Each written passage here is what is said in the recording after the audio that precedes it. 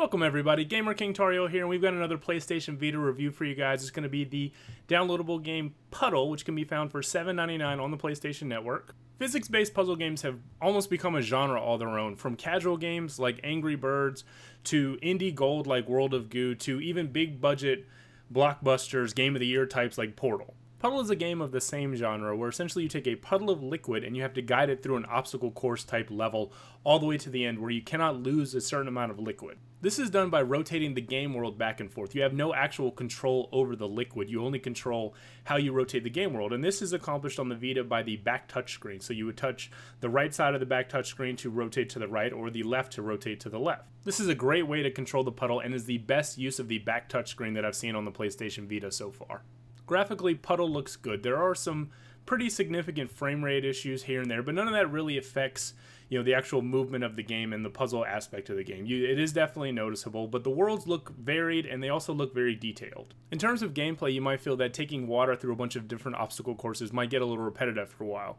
Puddle counteracts this by changing the liquids that you're actually controlling through the obstacle courses, and each liquid has different properties. So that might mean one level you might be playing as fertilizer, which will allow you to grow a plant which might unlock a new path. And the very next level you could be playing as a pesticide, which will allow you to dissolve tree branches to fall into certain places. And then the next level you might be controlling nitroglycerin, where any sudden movement might explode all of your liquid and end the level. This variety in the puddles and the level design is what keeps the game fresh and what always keeps you on your toes going from level to level. Puddle isn't perfect. Because you don't have any direct control over your actual puddle, the game lacks the creativity that you often find in physics-based puzzles. There isn't anything that you're going to do that the developer didn't think of. Everything is kind of going through a singular pattern of solving the direct puzzle. This is counteracted with an increased difficulty and a difficulty curve that seems to be all over the place.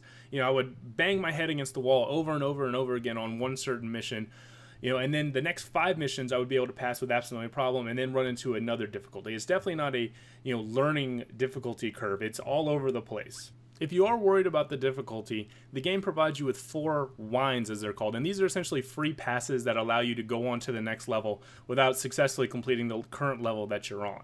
You only get four of these for the whole game, the 40 plus levels, so you have to use them wisely. But you, if you do use a whine, you can always go back and complete that level, and if you do pass that level, you'll get the whine back. While the game's difficulty can be all over the place, and sometimes certain levels can be absolutely frustrating, I think the difficulty works in the game's favor. There's one particular level where you have to take a glass snow globe through the level and you have to maneuver very very carefully. And if you go too fast or you go too slow and you end up on a hill you'll end up cracking the snow globe and this will cause your liquid to leak out very very slowly. And the more cracked it is the more it's going to leak out.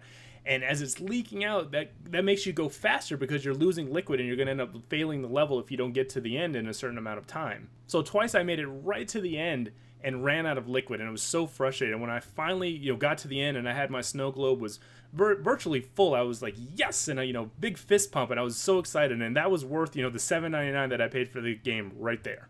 Overall i really enjoyed my time with puddle. I didn't even talk about trying to get gold on every level or leaderboards or anything like that. Hopefully this is a game that people are going to support and the developer will continue to release downloadable content for it anyone who has an interest in physics-based puzzle games or puzzle games in general and has a little bit of patience, I think is going to enjoy their time with Puddle as well.